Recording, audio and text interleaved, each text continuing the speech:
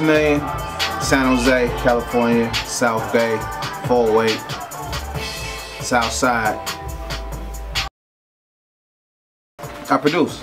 I make slaps. I do uh, you know, street music, hip hop, R&B, pop, you know, I, kind of dip and dabble in everything. I want to say like at least since like 98. 98, yeah. My grandma bought me a keyboard when I was like 10 years old. I was 10 for Christmas, she sent me a keyboard and I opened it and I just started playing with it. and my dad happened to play bass when he was younger in a band, so he was always interested in music. So he just kind of showed me, you know, the basics of messing around with a keyboard and uh, you know just kind of took off from there. Really, that's what kind of sparked the whole interest. I like party music, so I always try to aim for like a party atmosphere type sound, or um, yeah, just something that's just gonna make make you move, you know what I mean? Your head, man. So just life, life in general. You know what I mean? Um, it's just a natural, you know, I feel like it's a gift from God. It's just a passion that's in me. I'm able to do it. I do it good. It's effortless. And, you know, really just that in itself inspires me to, to make music. My boy Donnie gave me my name back in the day. He actually said it in a rap. And I liked the way it sounded. He was like, man, you should be Traxamillion. I said in the rap.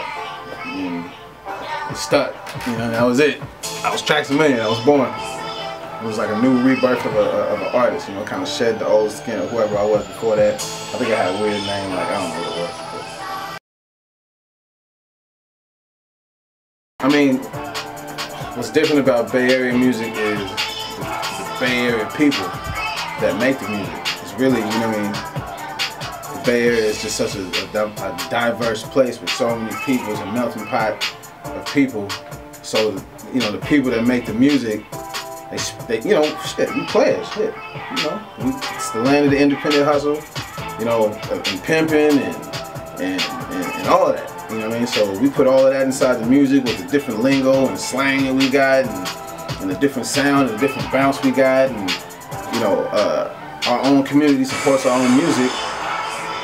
Like that, that's the difference. That's what makes it so different. You know what I mean? A lot of other places don't have that independent structure and that independent like support like we got. A lot of people come to the Bay Area and they're like, whoa man, this is crazy out here, man. Y'all, y'all really got a lot of support. Y'all support your own.